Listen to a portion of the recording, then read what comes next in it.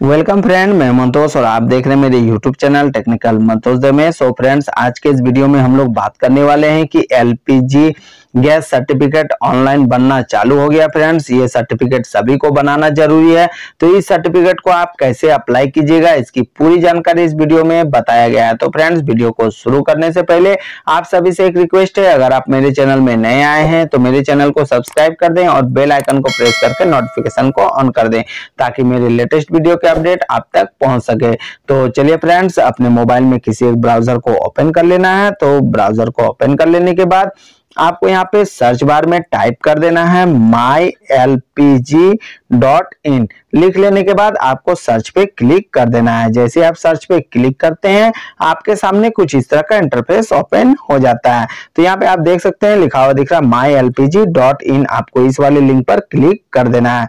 जैसे ही क्लिक करते हैं, आपके सामने कुछ इस तरह का इंटरफेस ओपन हो जाता है, जहाँ पे आप देख सकते हैं माई इन आपको देखने के लिए मिल जा रहा है। तो यहाँ पे मैं आपको जूम करके दिखा दे रहा हूँ। यहाँ पे आपको तीन गैस कनेक्शन देखने के लिए मिल जा रहा है, जैसे कि भारत गैस एचपी गैस और इंडियन गैस। तो आप जिस गैस को यूज़ करते हैं, आपको उस वाले पे क्लिक करना है तो चलिए हम लोग यहाँ पे क्लिक करते हैं, यहाँ पे जैसे ही क्लिक करेंगे, आपके सामने कुछ इस तरह का इंटरफेस ओपन हो जाएगा। तो आप देख सकते हैं, यहाँ पे दिखा, लिखा हुआ दिख रहा है my H P gas dot in तो यहाँ पे आपको एक नया ऑप्शन को ऐड किया गया, यहाँ पे आप देख सकते हैं, यहाँ पे लिखा हुआ दिख रहा है participate in the fight against corruption तो आपको इस वाले ऑप्शन पे टच करना है। इस वाले ऑप्शन पे आप जैसे ही टच करते हैं आपके सामने कुछ इस तरह का इंटरफेस ओपन हो जाएगा।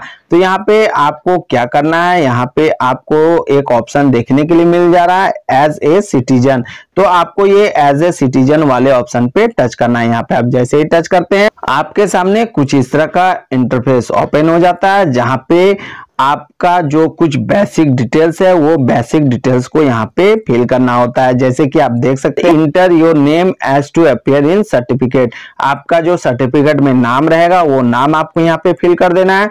उसके बाद आपका जो जेंडर है, वो जेंडर को आपको यहाँ पे सिलेक्ट कर देना है। आप मेल है या फीमेल है या अदर उसके बाद आपको एक पहचान पत्र मतलब आईडी प्रूफ के तौर पर देना है तो यहाँ पे आप देख सकते हैं।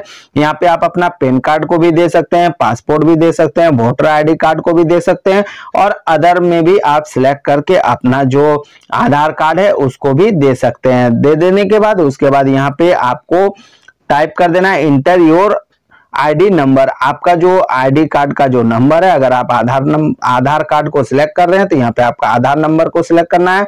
अगर आप पैन कार्ड को कर रहे हैं तो यहाँ पे आपको पैन कार्ड का नंबर को फिल करना है। उसके बाद यहाँ पे आपका डेट ऑफ़ बर्थ, आपका जो डेट ऑफ़ बर्थ है, वो आपको यहाँ पे फिल कर देना है। उसके बाद आपके एरिया का जो पिन कोड है, वो पिन कोड आपको यहाँ पे फिल कर देना है। उसके बाद आप किस स्टेट में रहते हैं, वो स्टेट आपको यहाँ पे फिल कर देना। तो यहाँ पे आप जैसे ही टच करते हैं, सारा स्टेट आपको यहाँ पे देखने के लिए मिल जाएगा। तो यहाँ पे आप देख सकते हैं, भारत के जितने सारे स्टेट है, सारे स्टेट आपको यहाँ पे देखने के लिए मिल जा रहे हैं। तो आप जिस स्टेट से बिलोंग करते हैं, वो स्टेट आपको यहाँ पे सिलेक्ट कर लेना है। उसके बाद सिलेक्ट कर लेने के बाद आपका जो डिस्ट्रिक्ट है, वो डिस्ट्रिक्ट को आपको यहाँ पे सिलेक्ट कर लेना है। तो डिस्ट्रिक्ट को सिलेक्ट कर लेने के बाद आपको यहाँ पे एक ऑप्शन देखने के लिए मिल जा रहा है ईमेल तो अगर आपके पास ईमेल आईडी है तो आप यहाँ पे ईमेल आईडी को फिल कर सकते हैं. अगर नहीं है तो आप इसको स्किप कर सकते हैं. उसके बाद यहाँ पे आपको, आपका जो मोबाइल नंबर है, जो मोबाइल नंबर आपका एक्टिव है, वो मोबाइल नंबर यहाँ पे आपको फिल कर देना है. और उसके बाद आपको इस वाले ऑप्शन पे सिलेक्ट कर देना है। यहाँ पे आपको लिखा हुआ दिख रहा है, भाषा के चयन के लिए आगे बढ़े। तो चलिए हम लोग पहले जो बेसिक डिटेल्स है, इसको फिल कर लेते हैं, उसके बाद आगे के प्रोसेस पे चलते हैं। सारा कुछ फिल कर लेने के बाद आपको यहाँ पे क्या करना है, इस वाले ऑप्शन पे सिलेक्ट कर देना है। इस वाले ऑप्शन पे आप जैसे ही टच करते हैं, आपके सामने कुछ इस तरह का इंटरफेस ओपन हो जाएगा। तो यहाँ पे आपका जो लैंग्वेज है, उस लैंग्वेज को आपको यहाँ पे सिलेक्ट करना है। तो यहाँ पे आप जैसे ही टच करते हैं, यहाँ पे जितने सारे लैंग्वेज है, सारे लैंग्वेज आपको यहाँ पे देखने के लिए मिल जाएँगे। तो आप जिस लैंग्वेज में देखना चाहते हैं, वो लैंग्वेज आपको यहाँ पे सिलेक्ट कर लेना है। जैसे आप लैंग्वेज को सिलेक्ट करते हैं, उसके बाद यहाँ पे जो आपको बटन दिख रहा है, प्रतिज्ञा पढ़िए, इस वाले बटन पे आपको टच करना है। यहाँ पे आप जैसे ही टच करते हैं तो यहाँ पे जो सरकार के द्वारा प्रतिज्ञा जो दिया गया है इसको आपको देखने के लिए मिल जाएगा। तो यहाँ पे आप देख सकते हैं यहाँ पे लिखा हुआ दिख रहा है इसको आपको केयरफुली से पढ़ लेना है। आपको ध्यान से इसको पढ़ लेना है। इसको आपको पढ़ लेने के बाद आपको सारा चीज़ पता चल जाएगा कि सर्टिफिकेट को बनवाने के बाद आपको क्या फ़ायदा होने वाला है आपको क्या करना है सारा चीज़ आपको यहाँ पे देखने के लिए मिल जा रहा है।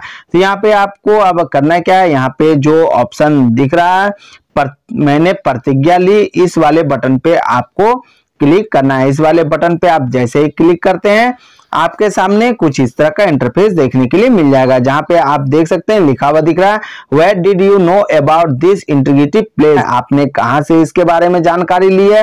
वो आपको यहाँ पे देखने के लिए मिल जा रहा है, जैसे कि गवर्नमेंट वेबसाइट आप गवर्नमेंट वेबसाइट से इसके बारे में जाना है तो आपको इस वाले ऑप्शन पे सिलेक्ट करना है, या डिजिटल मीडिया से जाना है तो यहाँ पे आपको डिजिटल मीडिया पे सिलेक्ट करना है तो चलिए हम लोग ये सोशल मीडिया से जानकारी ली गई है तो आपको ये सोशल मीडिया वाले ऑप्शन को सिलेक्ट कर लेना है, उसके उसके बाद आपको यहाँ पे क्या करना है? यहाँ पे आपको सबमिट पे क्लिक कर देना है। जैसे आप सबमिट पे क्लिक करते हैं, आपका जो मोबाइल नंबर है, जो मोबाइल नंबर को आपने फिल किया, उस पर आपका ओटीपी चला जाएगा।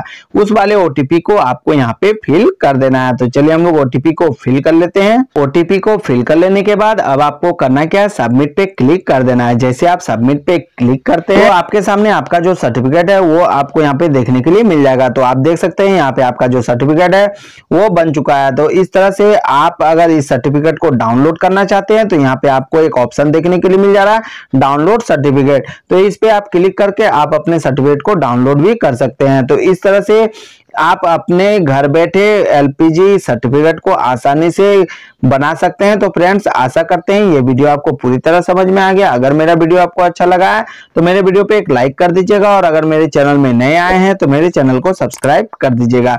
वीडियो को लास्ट तक देखने के लिए थैंक यू